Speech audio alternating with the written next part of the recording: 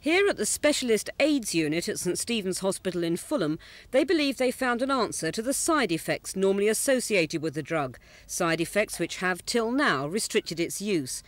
Instead of injecting the drug pentamidine, AIDS sufferers are inhaling it, reducing the risk of damage to kidneys and other organs.